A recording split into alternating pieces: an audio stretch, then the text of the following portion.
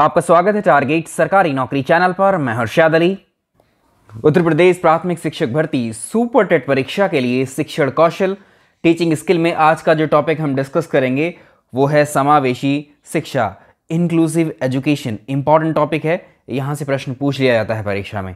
आइए शुरुआत करते हैं। ये पांचवा वीडियो लेक्चर है शिक्षण कौशल पर। इससे पहले चार हुए हैं, देख लीजिएगा। चैनल पर प्लेलिस्ट बना दी गई है। तो वीडियो को लाइक कर दीजिए। चलिए तो अपने टॉपिक को शुरू करते हैं। बहुत ही आसान भाषा में इस टॉपिक को भी हम कंप्लीट करेंगे। अगर हम बात करें एक परिवार की, उस परिवार में बच्चे हो सकते हैं, ठीक है? अगर हम बात करें एक गाँव की तो बहुत सारे परिवार वहाँ पर होंगे। अगर हम बात करें एक समाज की, अगर हम बात करें उस समाज की उस परिवार की तो एक परिवार में या एक समाज में हम अगर देखें तो उसमें कई सारे ऐसे बच्चे मिलेंगे जो बहुत प्रतिभाशाली होंगे, बहुत ही टैलेंटेड होंगे। और कई बच्चे आपको ऐसे देखने को मिलेंगे जो मंद बुद्धि होंगे, ठीक है? और कई सामान्य प्रकार के बालक आपको देखने को मिलेंगे, ठीक? कोई शारीरिक रूप से कमज़ोर होगा, जैसे मान लीजिए कि इसको सुनाई कम देता है, यानी आप शारीरिक रूप से विकलांग कह सकते हैं, कोई पैर की तरफ़ से विकलांग होगा, किसी का हाथ काम नहीं करता, किसी के पैर खराब हैं, ठीक है? यानी सामाजिक दृष्टि से पिछड़े बालक हो सकते हैं, कुछ पैसों की वजह से आर्थिक दृष्टि से पिछड़े बालक हो सकते हैं, कुछ लैंगिक अभाव भी हो सकता है तो कोई मंद बुद्धि का बालक भी आपको मिल सकता है। कुछ नॉर्मल बच्चे आपको मिल सकते हैं। तो आपने देखा होगा, एक समाज में भांति भांति प्रकार के अलग अलग प्रकार के बच्चे देखने को मिलते हैं। तो जितने प्रकार के बच्चों के बारे में हमने यहाँ पर ज़िक्र किया है, इन सब में अगर हम, इन सब के साथ में हम एक जैसा व्यवहार करें, इन सबको बिना भेदभाव के शिक्षा प्रोवाइड अगर हम करते हैं तो ऐसी शिक्षा जो सभी प्रकार के बालकों को एक साथ, एक समान व्यवहार करते हुए दी जाती है ये कहलाती है समावेशी शिक्षा। सिंपल। डेफिनेशन देख लेते हैं। समावेशी शिक्षा से तात्पर्य बिना भेदभाव के सभी प्रकार के बालक, बालिकाओं को एक साथ शिक्षा प्रोवाइड कराना, ये समावेशी शिक्षा कहलाती है। तो बिना बिना भेदभाव के सभी को शिक्षा प्रोवाइड कराने की जो प्रक्रिया है, वो समावेशी शिक्षा है। यानी कहने का मतलब है, शिक्षा के स्तर पर, शिक्षा के पॉइंट ऑफ़ व्यू से हम सभी एक हैं। शिक्षक होने के नाते कभी भी ऊंच नीच का भेदभाव जो है बच्चों के साथ में कभी नहीं करना चाहिए। जैसा व्यवहार, जैसा बिहेवियर आप क्लास में बच्चों में जो सामान्य बच्चे होते हैं, ठीक है? उनके साथ जैसा व्यवहार आप करते हैं, ठीक वैसा ही व्यवहार अगर आप विकलांग बच्चे के साथ, जो क्लास में हैं आपकी, प्रतिभाशाली बच्चे के साथ, ठीक है? जो अलग अलग प्रकार के बच्चे, उन सभी के साथ एक जैसा बर्ताव बिहेवियर आप करें, एक जैसी शिक्षा उनको प्रोवाइड करें, एक जैसे अवसर उनको प्रदान करें तो ये समावेशी शिक्षा कहलाती है, ठीक है? तो शिक्षा के क्षेत्र में कोई भी भेदभाव नहीं किया जाएगा, यही है समावेशी शिक्षा और यही है इसका उद्देश्य। सामान्य बालक क्या होते हैं? ठीक है, आप हैं, मैं हूँ, ठीक है, आपके मेरे जैसे वो सामान्य बालक होंगे, जिनमें कोई विकार या दोष ना हो, ठीक? अगर इसको देखें, हम आईक्यू के लेवल पर हम 90 से 10 के बीच में जिनका 90 से 110 के बीच में जिनका आईक्यू होता है पढ़ेंगे अलग टॉपिक में इसके ठीक है? तो वो सामान्य बालक होते हैं और दूसरे होते हैं विशिष्ट बालक। तो एक सामान्य बालक हुए और दूसरे होते हैं विशिष्ट बालक। तो विशिष्ट बालकों में क्या आते हैं? जो आ, जो भी प्रतिभाशाली बच्चे होंगे या बालक होंगे यानी टैलेंटेड जो चाइल्ड होंगे या मंद बुद्धि बालक। देखो हम एक तरीके से बोल रहे हैं प्रतिभाशाली भी बोल रहे हैं और टैलेंट साथ में मंद बुद्धि बालक भी बोल रहे हैं।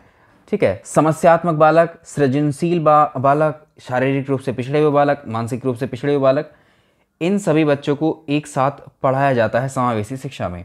ठीक है अलग अलग व्यवहार नहीं किया जाएगा इनके साथ। अगर कोई होशियार है तो उसको आप स्पेशल ट्रीट कर रहे हो। ऐसा नहीं होना चाहिए ठीक है? तो हम इसकी दूसरी डेफिनेशन थोड़ा सा और टेक्निकली आगे बढ़ेंगे। तो इसी डेफिनेशन को हम ऐसे कह सकते हैं कि विद्यालय में सामान्य बालक और विशिष्ट बालकों को एक साथ शिक्षा प्रदान करना समावेशी शिक्षा कहलाती है। यानी समावेशी शिक्षा में किसी भी बालक के साथ में कोई भी भेदभाव नहीं किया जाएगा। अभी शुरुआत के तौर पर, क्योंकि परीक्षा में समय है आपकी, ठीक है तो ये हम बेसिक फाउंडेशन आपकी बना दे रहे हैं। इनके बारे, इनकी, इन्हीं विषयों को मैं फिर से आपको एक बार पढ़ाऊँगा।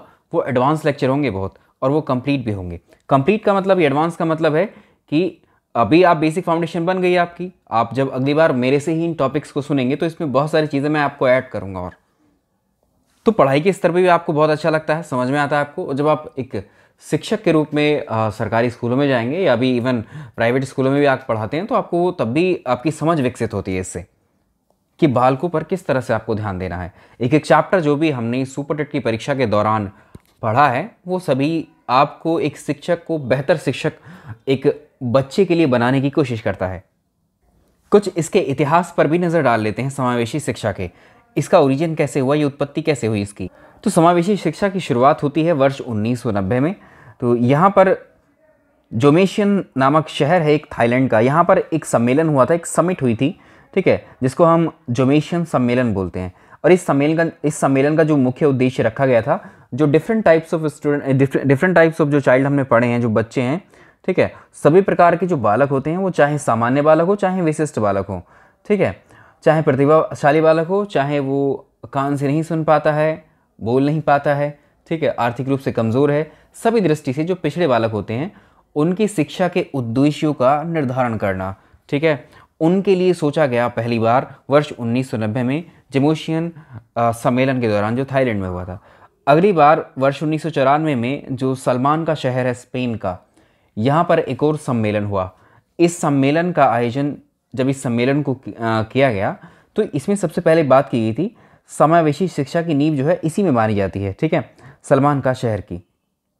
इस सम्मेलन का उद्देश्य भी अगर हम बात करें तो जो विशिष्ट शैक्षिक आवश्यकता वाले बालक होते हैं, यानी पिछड़े, विशिष्ट रूप से जो पिछड़े या अभी जिनके हमने ज़िक्र किया है, उन बालकों को शिक्षा सम्मेलन के माध्यम से शिक्षा में सुलभता और क्षमता का निर्धारण करना। एक तरीके से हर प्रकार के जो बालक हैं, ठीक है विशिष्ट शैक्षिक आवश्यकता वाले जो बालक हैं, उनको शिक्षा उपलब्ध करवाना, ठीक है?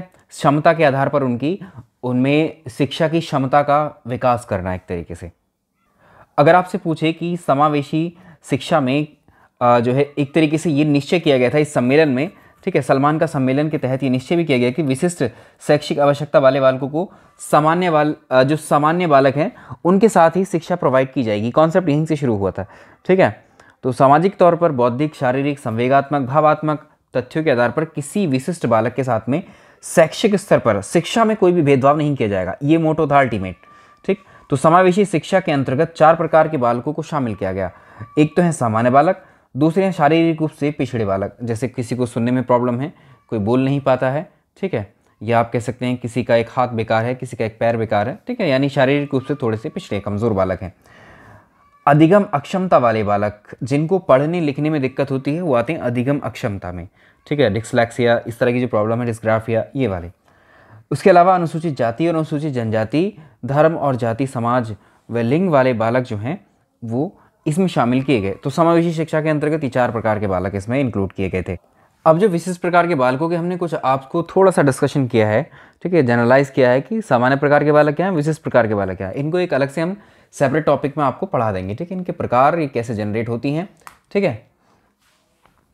इस प्रकार के विकार और जितनी भी मतलब आ, हम बात कर रहे थे शारीरिक रूप से पिछड़े बालकों की या अधिगम अक्षमता वाले बालकों की इनको अलग से एक सेपरेट टॉपिक में आपको समझाऊँगा ठीक? तो इसी टॉपिक का वो एक्सटेंशन आप उसको मान सकते हैं।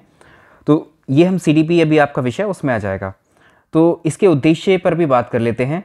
तो शारीरिक रूप से अगर हम समावेशी शिक्षा की बात करें तो समावेशी शिक्षा शारीरिक रूप शारीरिक रूप से जो अक्षम बालक हैं, असक्षम बालक हैं, उनको शैक्षिक समस्या को दूर करता है। ये उद्देश्यों में, प्रश्नों में आपसे पूछ सकता है, ठीक? तो बालकों को अधिगम अक्षमता को दूर करता है, ठीक है? सीखने की जो प्रॉब्लम्स होती हैं बच्चों की, वो समावेशी शिक्षा में दूर हो जाती हैं, ठीक है? शारीरिक रूप से जो विकलांग बच्चे हैं, उनको जो पढ़ने में प्रॉब्लम है, सीखने में तो वो भी यहाँ दूर होती है। सभी प्रकार के बालकों को विद्यालय में अल्टीमेट मोटो यही होता है भाई, सभी प्रकार के बालकों का विद्यालय में प्रवेश होगा, चाहे विशिष्ट बालक हो चाहे सामान्य बालक। तो विशिष्ट बालकों को नवीन शिक्षण विधियों के माध्यम से उनको पढ़ाया जाएगा, सिखाया जाएगा, और विशिष्ट अध्यापकों की नियुक्ति भी की जाएगी, जो सभी प्रकार के बालकों को एक साथ पढ़ा सके। एक क्लास में मान लीजिए सामान्य बालक भी हैं, विशिष्ट बालक भी हैं। तो दोनों तरह से कैसे एक एक टीचर ट्रीट करेगा तो एक स्पेशल टीचर उस तरह के होने चाहिए। अगर हम बात करें किसकी, प्रत्येक बालक की शक्तियों का विकास करना भी किसका मोटो है ठीक? शारीरिक और मानसिक रूप से पिछड़े बालकों को भी महत्वपूर्ण समझा जाता है इसमें। और सामान्य और पिछड़े बालकों के मध्य एक तरीके से जो इनक्वालिटी हम कह सकते हैं, जो पहले से असमानता या दिमाग में बच्चों के बैठता है शुरू से ही, ठीक है? वो सारी चीज़ें खत्म हो जाती हैं। यानी एक अच्छे रिलेशनशिप बच्चों के बीच में डेवलप होते हैं, सामान्य और पिछड़े बालकों के बीच में। तो इस टॉपिक में हम समावेशी शिक्षा का ये प्लॉट है थोड़ा सा, जो हमने अभी यहाँ डिस्कस किया आपके साथ में। प्रश्नों के माध्यम से भी इसको हम करेंगे। इस टॉपिक में इतना ही रखते हैं तो दूसरी क्लास में हम जो है लाइफ स्किल के प्रश्नों को डिस्कस कर लेंगे। अभी छोटे छोटे सेशंस ले रहे हैं ताकि आपको जो है बोरिंग फील ना हो इसमें इंटरेस्टिंग वे में आपको समझ में आए अच्छे से। अभी किसी बुक से पढ़ोगे तो आपको बहुत ईजिली समझ में आएगा, लेकिन बुक में ऐसे सीधे सीधे लिखता नहीं है। चलो, इसको यहीं रहने देते हैं। अब नया टॉपिक करेंगे किसी अगले वीडियो में इसके। इस वीडियो में इतना ही। थैंक यू वीडियो को लाइक कर दीजिएगा।